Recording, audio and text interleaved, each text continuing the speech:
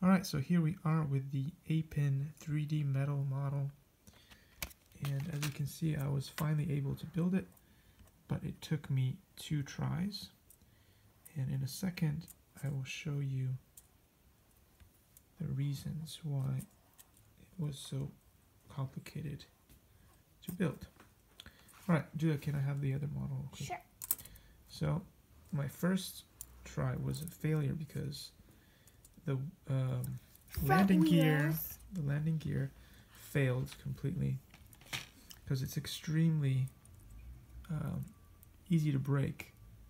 And also there's a couple of parts that connect the wing to the chassis here that also failed to build uh, because they actually turned out to be the wrong size. So when you try putting them on they just smush together.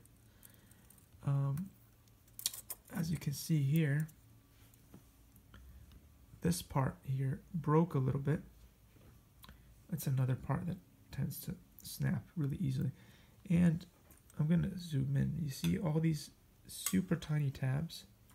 Well, that's the reason things break when you're trying to build this model.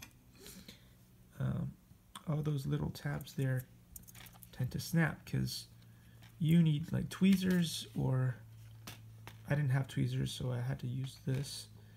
And so bending these things into place so that they can stay together is a huge huge um, problem. problem yeah.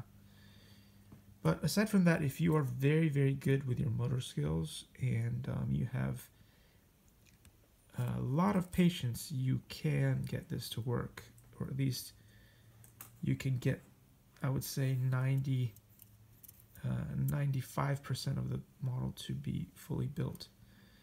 As far as the rest, which, as I said, there's a little piece that goes from there to there, that is the wrong size. So um, that's something they could improve in their next model should they decide to um, keep making these things and um, selling them. I would definitely consider doing that anyway. There you have it. The 3D metal model from A-Pin 360 um, and um, here's the picture and see you in the next video. Hope you enjoyed this review.